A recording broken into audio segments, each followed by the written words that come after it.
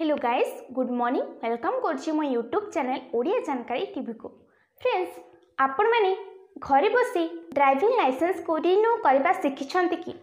ଯଦି ଶିଖିନାହାନ୍ତି ତେବେ ମୁଁ ଆଜି ଆପଣମାନଙ୍କୁ ସହଜ ଉପାୟରେ କେମିତି ଡ୍ରାଇଭିଂ ଲାଇସେନ୍ସକୁ ରିନ୍ୟୁ କରିବେ ସେ ବିଷୟରେ ଜଣାଇବି।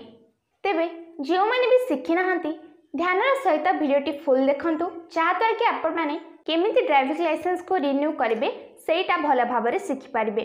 ତା ସହିତ ଆପଣମାନେ ଯଦି ଚ୍ୟାନେଲକୁ ଆଜି ନୂଆ କରି ଆସିଛନ୍ତି ଏବେ ହିଁ ସବସ୍କ୍ରାଇବ୍ କରି ପାଖରେ ଥିବା ଅଲ୍ ବେଲ୍ ଆଇକନ୍କୁ ପ୍ରେସ୍ କରିଦିଅନ୍ତୁ ଯାହାଦ୍ୱାରା କି ଆପଣମାନେ ଏମିତି ଡେଲି ଡେଲି ନୂଆ ନୂଆ ଇଣ୍ଟରେଷ୍ଟିଂ ଭିଡ଼ିଓ ସହିତ କିଛି ନୂଆ ଜିନିଷ ଶିଖିପାରିବେ। ତ ଫ୍ରେଣ୍ଡସ୍ ଆପଣମାନଙ୍କୁ ଯଦି ଭିଡ଼ିଓଟି ଭଲ ଲାଗିବ ସମସ୍ତେ ଗୋଟେ ଗୋଟେ ଲାଇକ୍ କରିଦେବେ ଏବଂ ଆପଣମାନଙ୍କର ଫ୍ରେଣ୍ଡସ୍ କିମ୍ବା ରିଲେଟିଭ୍ମାନଙ୍କୁ ଏହି ଭିଡ଼ିଓଟି ସେୟାର କରିବେ ଯାହାଦ୍ୱାରା କି ସେମାନେ ମଧ୍ୟ ଘରେ ବସି ଡ୍ରାଇଭିଂ ଲାଇସେନ୍ସକୁ ରିନ୍ୟୁ କରିପାରିବେ। ଫ୍ରେଣ୍ଡସ୍ ଡ୍ରାଇଭିଂ ଲାଇସେନ୍ସ ରିନ୍ୟୁ କରିବା ପାଇଁ ଆର୍ ଟି ଓ ଅଫିସ୍ ଚକର କାଟିବା ଆଉ ଆବଶ୍ୟକତା ପଡ଼ିବ ନାହିଁ। ଆପଣ ଘରେ ବସି ଅନଲାଇନ୍ରେ ଏହାକୁ ରିନ୍ୟୁ କରିପାରିବେ। ଆସନ୍ତୁ ଜାଣିବା କେମିତି ଆପଣମାନେ ଘରେ ବସି ଅନଲାଇନ୍ରେ ଏହାକୁ ରିନ୍ୟୁ କରିପାରିବେ। ନିଜ ଡିଏଲ୍କୁ ରିନ୍ୟୁ କରିବା ପାଇଁ ପରିବହନ ବିଭାଗର website H T T P S slash parivahan dot G O V dot in ଉପରେ କ୍ଲିକ୍ କରନ୍ତୁ। ଏଠାରେ ଆପଣ ଅନଲାଇନ୍ ଆବେଦନ ଅନଲାଇନ୍ ଆପ୍ଲିକେସନ୍ ଉପରେ କ୍ଲିକ୍ କରନ୍ତୁ। ଏହାକୁ ଆପଣମାନଙ୍କୁ ମେନ୍ୟୁ ବାର୍ ବାମ ପଟେ ନଜର ଆସିବ। ଏହାପରେ ଡ୍ରାଇଭିଂ ଲାଇସେନ୍ସ ସମ୍ବନ୍ଧିତ ସେବା ଉପରେ କ୍ଲିକ୍ କରନ୍ତୁ। ଆପଣ ଯେଉଁ ରାଜ୍ୟର ସେ ନେଇ ଚୟନ କରନ୍ତୁ।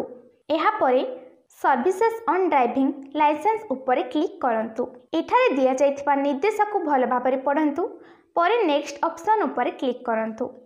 ଏବେ ଆବେଦନ ପତ୍ରରେ ନିଜ ବର୍ତ୍ତମାନ ଲାଇସେନ୍ସ ନମ୍ବର ଏବଂ ପିନ୍କୋଡ଼୍ ସମେତ ଅନ୍ୟ ସୂଚନା ଭରନ୍ତୁ। ଏହାପରେ ରିନ୍ୟୁ ଉପରେ କ୍ଲିକ୍ କରନ୍ତୁ। ନିଜ ଫଟୋ ଏବଂ ସିଗ୍ନେଚର ଅପଲୋଡ଼ କରନ୍ତୁ। ଆବଶ୍ୟକ ହେଲେ ମେଡ଼ିକାଲ ପରୀକ୍ଷଣର ସ୍ଲଟ୍ ବୁକ୍ କରନ୍ତୁ। ନଚେତ୍ ସ୍କିପ୍ କରିଦିଅନ୍ତୁ। ଶେଷରେ ଲାଇସେନ୍ସ ରିନ୍ୟୁ କରିବା ପାଇଁ ଆପଣମାନଙ୍କୁ ଦୁଇଶହ ଟଙ୍କା ଭରିବାକୁ ହେବ। ଆପଣ ନେକ୍ସଟ ବ୍ୟାଙ୍କିଂ ଡେବିଟ୍ କାର୍ଡ଼ ବା କ୍ରେଡ଼ିଟ୍ କାର୍ଡ଼ କୌଣସି ବି ମାଧ୍ୟମରେ ପଇଠ କରିପାରିବେ।